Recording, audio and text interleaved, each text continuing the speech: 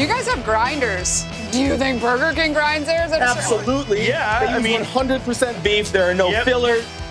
I'm grinding my meat. Hey, what are you doing over there? Oh, there you are. I didn't see you, Reggie. I am grinding some meat over here to make my burgers. The most important thing for me while replicating this Burger King Whopper is this perfectly ground meat. I'm gonna get the patty thin and I'm gonna make sure it's kissed by the fire on this stove. I'm gonna do it the real way. Uh, I've got some eye round, some chuck, and I put some brisket in there that's gonna give it some flavor. Ooh. Does Burger King taste like all that though? Absolutely He's giving them does. a lot of credit on that meat. I, I, I know. All right, so my plan with the uh, Burger King Whopper, I'm gonna take ground meat, organic. I'm gonna make the little patties and just call it a day. Quite frankly, today, I didn't wanna sweat. This is great, 85% ground beef. Burger King's not grinding up their chuck and everything. I see. Okay, okay, okay, okay. So Reggie, I'm doing like a kind of in between the both of these uh, these guys. I feel like when you have a burger from Burger King, it's really juicy, and the only way to get that juiciness is fat. Yeah, I'm doing a little bit of fresh ground brisket into my uh, ground beef, just to kind of give a little bit more texture. Interesting. You want to come on back and help me patty up these burgers? Whoa, that's crazy. I think I will.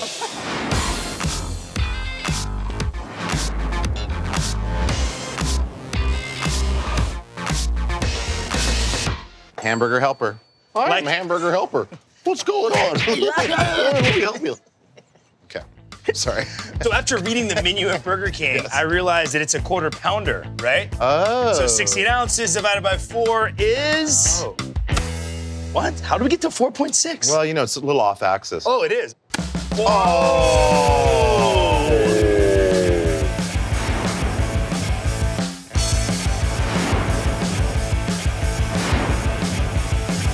I'm just throwing Okay. it, flipping it, throwing it. Reg helped me ball the meat. We actually made a beat while smashing these patties to get those air bubbles out. I'll toss the meat, you drop a beat.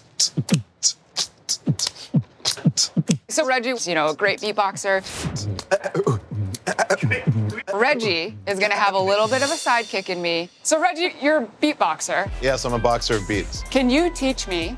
Okay, if I'm doing a drum beat that I want to have a bass line, you close your lips every time you do it. So Ready? Ready? but that's pretty good. It's kind of like, hey, I think the key is spit, spitting. How that? Did I do good? So the Burger King ones aren't like super charred, right? Flatten it as much as you like the thin burger. You know oh, what I I'm love, like, I love thin get in burger.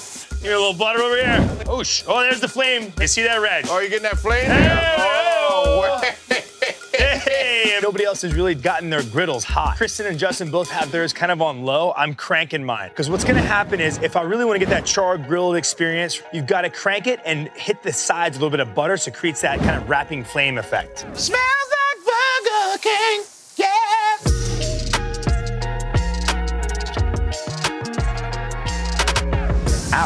that's hot. Here, Reggie, why don't you try something like Oh this too? no, I've always wanted to use one of Okay? those. So this is basically this, but Uh-huh. you're able to cover more burgers. Okay, So all right. careful of your arm. Oh my God. Like, get in there. All right, There you go.